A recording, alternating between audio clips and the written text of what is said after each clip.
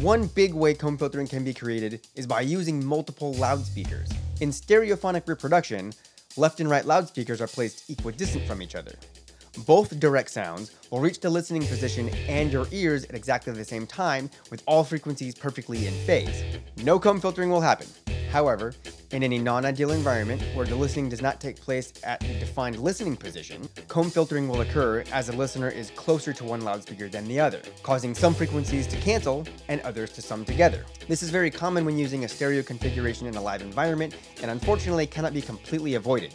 Sorry. If the goal is to cover a large area using point source loudspeakers such as QSC CP, K.2, or KW loudspeakers, make sure to select loudspeaker models that have a very controlled directivity.